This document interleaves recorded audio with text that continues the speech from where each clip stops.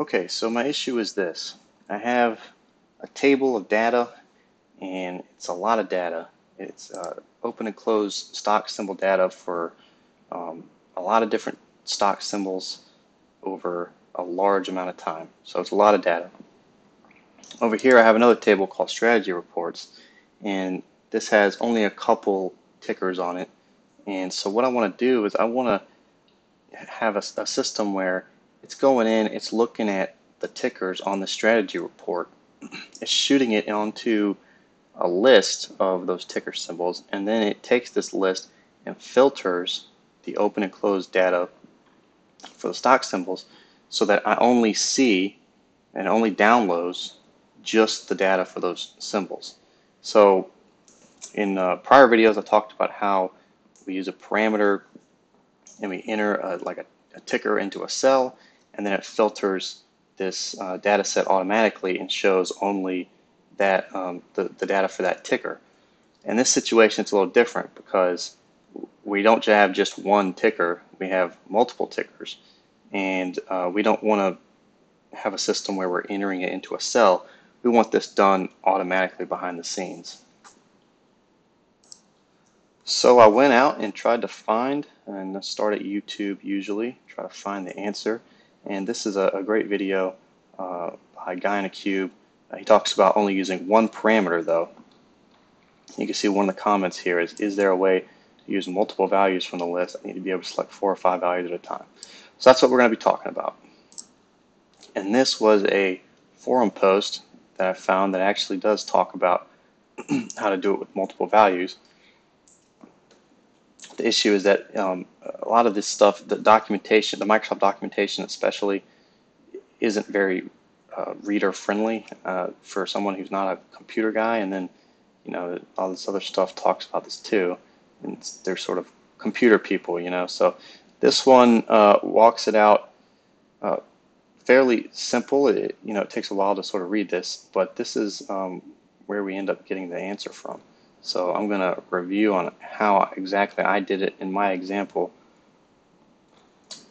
Uh, you can find this um, uh, thing at, that address right there.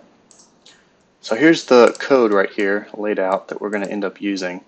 Uh, but first, I'm going to get this set up. So I'm going to import um, two things. We're going to import the data for the two tables. So I've got strategy reports saved on my computer in one place, and then I've got all of the stock data saved in another place. So we're going to be uh, coming here, and we're going to choose uh, data, get data, from folder. now I have these. I go to the place I have them saved. So I have them saved in here. I'm not going to be able to see it though. So I'm going to open that.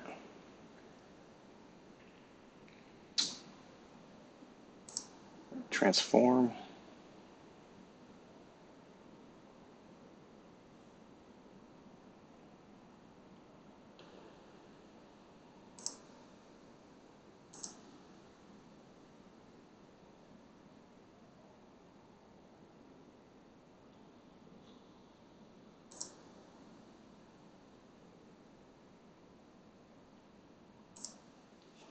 Now I've already gone through here and uh, fixed this up. Obviously you can see that it would require a lot of uh, additional steps. So I'm just going to take this code that I've already written out.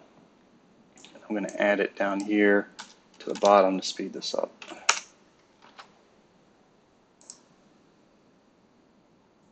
Alright, and so now this is the data that I want. Everything looks good. So now I'm going to save, close and load.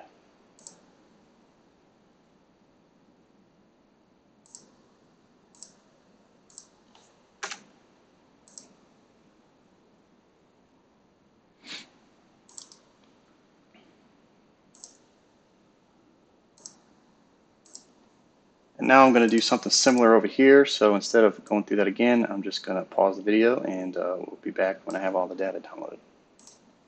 You can see here as I'm downloading this, just the sheer size of all these CSVs. And so what we're going to end up doing is we don't want to download all of these. We're going to, right here at this step, we're going to end up just downloading the ones uh, that we, are, we use over here in this table.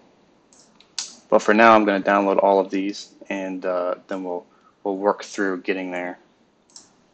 So I've clicked the little download button up here, and it put in all these steps automatically. And what we end up with is it takes out all this data from the CSV, but uh, the little the um, column here I created that has the ticker symbol is gone. So what I'm going to do is I'm going to back it up and delete these all the way up to this step right here. And then I'm going to click on the little guy up there and I'm going to choose the ones that I want. So I want date, I want open, I want close. To click OK. And then that uh, added those without deleting that, that ticker uh, column there. Alright, so I've got the data in there. Now we're going to come up here back into the, the query editor and what we need is to create the uh,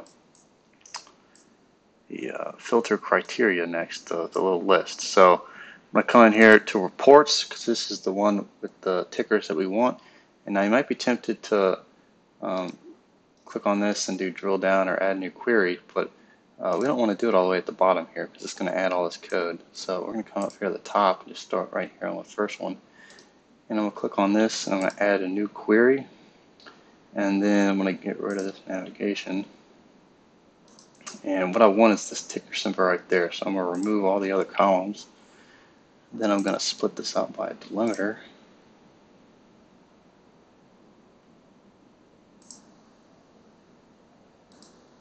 Get rid of those. And then I'm going to come up here, format, and I'm going to do uppercase just to make it look nice. To say tickers. And then you can see here we got multiple ones, so we're going to want to remove the duplicates.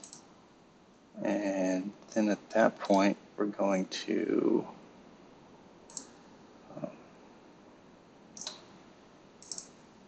convert it to a list up here. All right.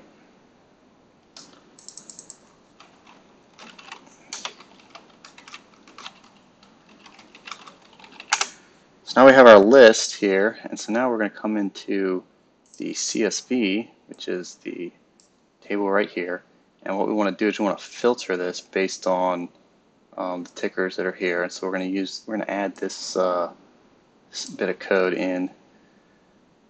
But where we're going to do it is instead of filtering this final table, we're going to come up here to the source, uh, where am I at? Yeah, the source here, and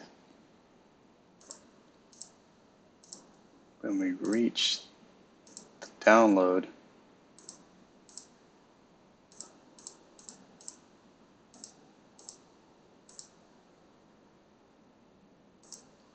which begins right here at remove columns. Going to open this up and we're going to insert it there. So we're going to open this up and we're looking for remove columns. Um, this is right before we download the, the filter hidden files one is the the first line that downloads the uh, the data. Say uh,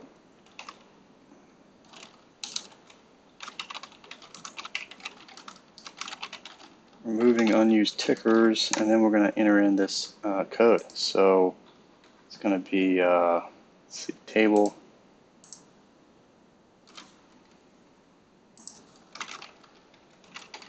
table.select rows, which is used when you're filtering the rows. We're going to enter the prior step. So in this case, it is removed columns.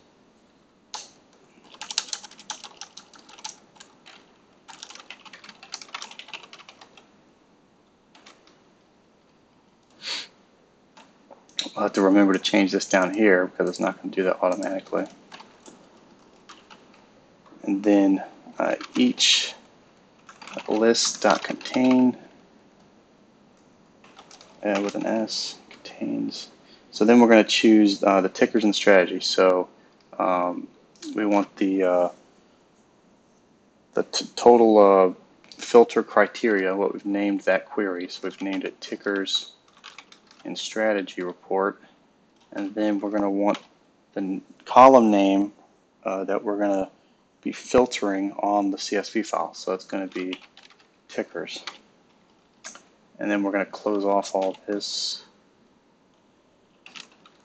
and put a comma, and we want to update this down here.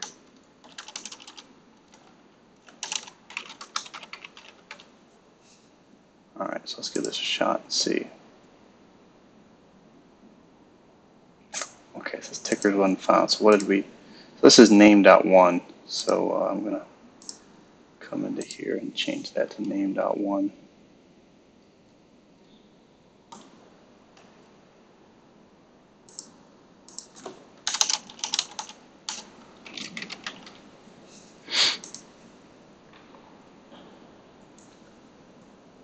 All right, so there we go. So you can see it removed AAL, was the first one originally.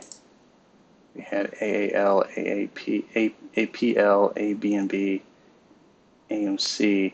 And I believe, I know AAL is not in there. I know ABNB is not in there. So what we should see is AAPL and then whatever's next. So we see AAPL here. So at that point, we're, we're good. So now all we're going to do is just close and load and uh,